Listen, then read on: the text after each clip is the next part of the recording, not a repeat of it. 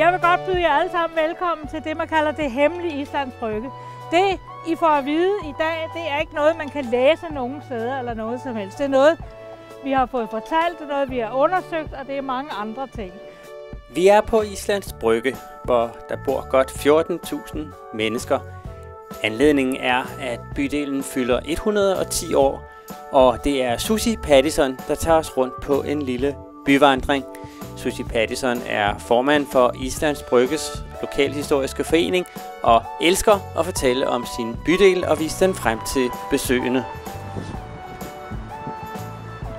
Det er jo sådan, at Islands Brygge er jo en landsby, fordi den er så afgrænset med vandet, fælden og så nokken hernede.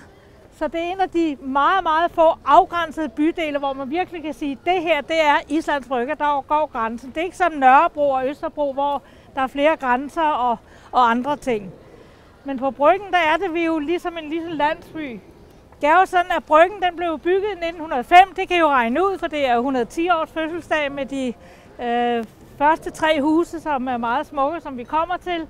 Og øh, resten af det her, er det, det gamle brygge, Øh, det er, at øh, det var Christian Hav Opladspladser, som opkøbte husene.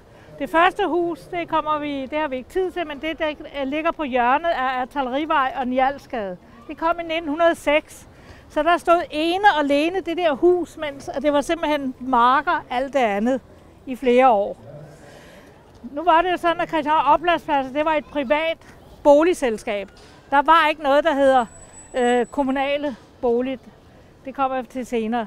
Og det vil sige, at de kunne bestemme, hvem der var. Folk tror, at Islands Brygge er et arbejderkvarter. Det har aldrig været arbejderkvarter. Og det kan man jo netop øh, finde ud af i statistikkerne og flere andre ting. Jeg er jo selv født og opvokset her, og min far han var ansat i Landbrugsministeriet, og det er derfor i 1938, der kunne han få lov til at få en lejlighed, fordi Christian Oplandspladser, de ville godt have gode, stabile borgere, der kunne betale deres husleje. Og derfor blev det jo meget statsansatte og kommunalansatte, og, øh, og sådan var det hele vejen på bryggen, fordi så var de sikre på at få huslejen. Det der mastodont af 60'er, øh, af redsel, som man kalder det jo, det er bygget oven på vores elskede biograf. Vi havde Bautora Bio, som blev bygget i 1927, og den blev bygget som en premierebiograf. Så der var rigtig klaversag og, og det hele. Men i 60'erne, der døde alle biograferne, folk fik fjernsyn. Og så var der en, han byggede de der to mastodonter i 1964. Han havde, dengang i 60'erne var man begejstret for alt, hvad der var med USA at gøre. Så han tænkte, motel, det er da lige her på bryggen. Så han byggede de her, som er primært etværelseslejligheder, og sagde, ja, det vil jeg gøre. Og han byggede det der, og så kom der en mand forbi fra kommunen, så sagde han, øh, har du øh, bedt om tilladelse til det? Nej, det havde han vist ikke. Nå, men det synes han, at han skulle gøre. Nå ja, men det mente han, det var jo ikke noget problem. Så han øh, skrev en øh, ansøgning og sagde, at jeg vil godt lave moteller. Han lavede jo parkeringspladser det hele. Det var hele var så fint. Og kommunen sagde nej. Så han blev nødt til at bide det sure æble, og så blev det lejelejligheder. I dag er det jo så ejerlejligheder, og de prøvede at forskønne den her bygning med lidt grønne øh, hvad hedder det, skodder, men ikke fordi det hjælper meget, må man sige. Den her bygning bag ved jer, den er delt i to matrikler. Folk de plejer altid at sige, jeg bor i Bagtoresgade, men i den pæne ende.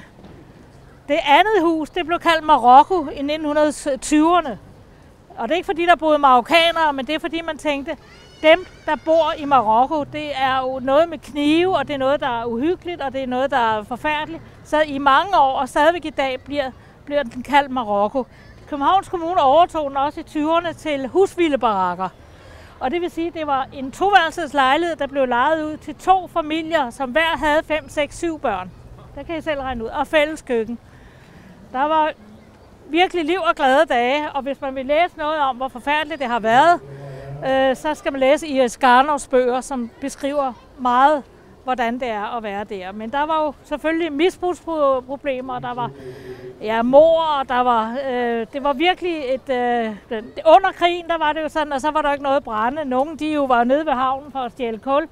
Men øh, i Marokko, så tænkte man, at de der balystre på trapperne, dem er der ikke nogen, der har brug for. Så de tog dem og skar dem helt gelænderet væk, og så fyrede kakloven. Sådan. Jeg kan også lige fortælle en sjov historie med biografen. Æggelund, det var en øh, kontrollør, overkontrollør.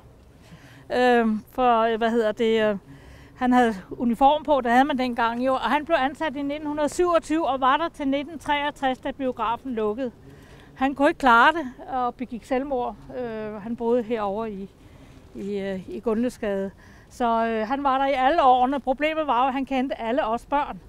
Og det vil sige, at hvis jeg gik over som 15-årig og skulle se en film, der var forbudt for børn, med 16 år, og så prøvede at gå igennem, så sagde han, du kan godt gå hjem, fordi den er 16 år, siger han så. Så det var ikke spor en fordel, og det viser jo bare det der med, at, at Bryggen var jo et, en uh, lille landsby.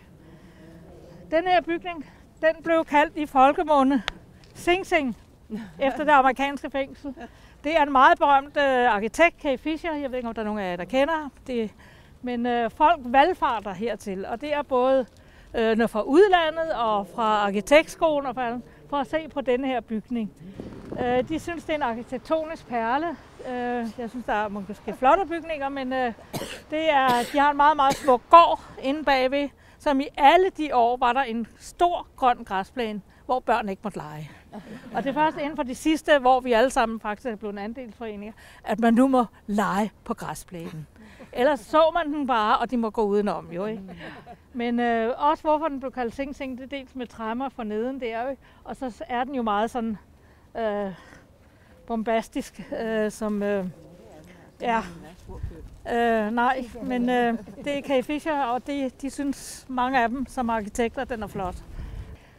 FDB, de producerede tasker, sko, alting. Det var før alle tingene blev lavet i Kina. Så rundt omkring der er tekstilfabrikkerne, og det er de to fabrikker, jeg ser, det er FDB. Og de producerede simpelthen ting, som de solgte blandt andet i Anva, som også var FDB's øh, varehus, og øh, i Brusen dengang.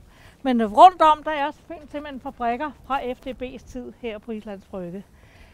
Ikke alene har vi jo så haft FDB, vi har jo haft en masse her på Islands Brygge. Vi havde for blandt andet tændstikfabrikken Gosh, som ligger længere ude, og så havde vi tobaksfabrikker. Det her det er en administrationsbygning fra Opels tobaksfabrik. Bagved var der en kæmpe stor hal, hvor omkring flere hundrede kvinder i bedste kuberstil sad og rullede tobaksblade. Det var dengang folk røg cigarer og cirutter. Øhm, så overtog det jo i dag, at det er jo ældreboliger længere nede, og det er administrationsbygning. Og selvom det er inden for kommunen, så skal man jo heller ikke overtræde sine regler, og det gjorde man. Så den her bygning, den blev revet ned, den oprindelige, og øh, så kom kommunen også, selvom det er inden for samme kommune, og sagde, hvor er den bygning? Ja, den har vi revet ned. Ja, det må I ikke. Så de er forpligtet til at bygge den op igen. Så det I ser, det er en kopi af den fra 1920. Det her sted, det hedder Kikuren, og det er helt forkert. Kikuren betyder udsigtspost i militær udsprød. Og Kikuren, det hed det op ved siden af Langebro. Og det var jo selvfølgelig logisk, fordi der var jo volden, så man kan kigge efter fjenden. Da man så byggede den nye Langebro, så stod man det der, så blev pladsen jo væk, og så stod man Kikuren, hvor, hvad, hvad kan vi det? Og så siger Københavns Kommune, men så, så lægger vi det navnet herned. Så det her, det hedder Kikkorn, og faktisk er det jo ikke helt logisk, fordi det har intet noget med militær at gøre. Men det her område, der var jo også cigarfabrik derovre. Vi havde masser af cigarfabrikker her. Og om bagved ligger der en masse små industrier, som jeg vil anbefale at gå en tur, hvis I engang skal have det. Det er blandt andet Krøniken, hvor at Erik han havde lavet films, hvad hedder det, fjernsynsapparater. Det blev optaget derinde. I hele taget er der jo mange, mange film, der blev optaget her på Islands Brygge, fordi det hele er intakt.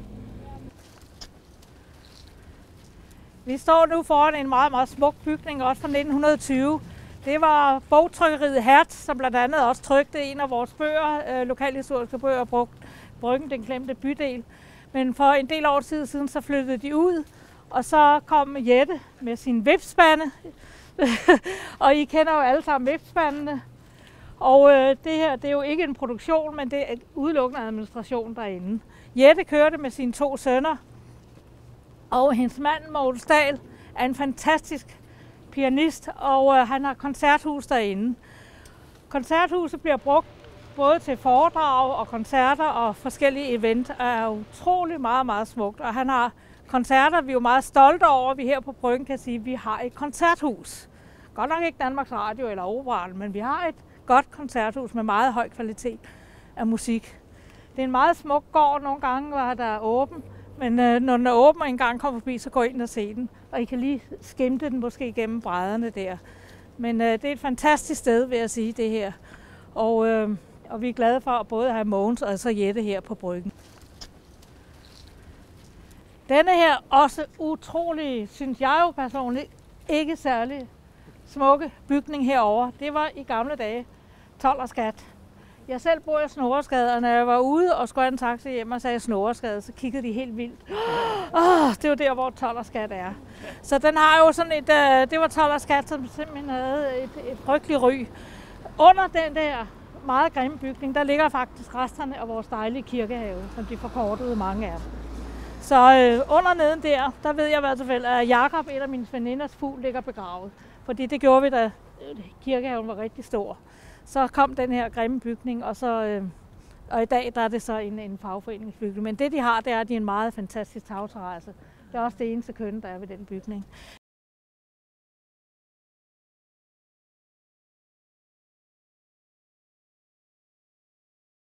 Det her, det er jo de sørgelige rester af kirkehaven. Den var jo så meget, meget større. Som I kan se, så gik den hele vejen den her vej. Øh, men det her, det er jo en fuld offentlig have. Der er mange, der har boet på bryggen i mange, mange år og ikke aner, at der er sådan en have her. Men her der kan man holde sin, øh, man kan komme ned med sin kop kaffe, man holde, kan holde receptioner, man kan holde familiefester. Det er en helt offentlig have, denne her, og den er vidunderlig, når solen skinner, kan jeg lige fortælle jer. Foran øh, der har vi Hans Havsens Kirke. Nu er det jo sådan, at her på Bryggen, der har vi jo måttet kæmpe for alting. Fordi vi lå jo så langt væk fra Indre By, ikke? Sjovt nok, der er 10 minutter for øh, Rådhuspladsen. Så øh, da øh, Bryggen blev bygget i 1905, så bestemte man inden for øh, kirkesovnet, at øh, jamen, øh, hvis øh, bryggeboere de skal i kirke, så må de tage over på Christianshavn. Så det gjorde de jo så i mange år, indtil der var nogen, der sagde, ej, nu er det nok. Vi vil have vores egen kirke, der var bryggen efterhånden også kommet op på en, en flere tusind mennesker. Så de kæmpede, og i 1915 fik de menighedshuset, som er den bygning, I ser der. Juhu, nu havde de så den. Men de vil jo godt have en rigtig kirke. Så det, man kalder hovedskibet, som ser i bagved, som er selve kirken, øh, den kæmpede de så for, og den kom i 1924. Så havde man sådan en øh, øh, stander derude med en øh, kirkeklokke, fordi man havde ikke noget tårn. Og så tænkte man, at vi vil også godt have et tårn. Så øh, de begyndte jo at, øh, at samle ind på bryggen, men det gik sådan lidt træt, og de samlede ind i flere og flere år, indtil der var en konsul i, øh, i Italien, dansk konsul, der sagde, ej, hvad er det synd for de der bryggeboere, at de ikke har deres egen kirke. Jeg giver resten. Så i 1936 kom tårnet, og så havde vi vores egen kirke. Vi havde en præst, der hed Sagnepræst Pastor Lærke, og han er nok den, der har, hvis der er nogen, der føler, at jeg er på bryggen, været både øh, døbt og konfirmeret og gift, og jeg tænkte, han blev næsten øh, 100 år, så jeg tænkte, han ender også med at begrave os jo, ikke? Og han øh, cyklede som han nogle af 90 år med sin præste og sin krave og sin høje hat, cyklede rundt på bryggen. Han var en meget, meget aktiv mand og gjorde en masse.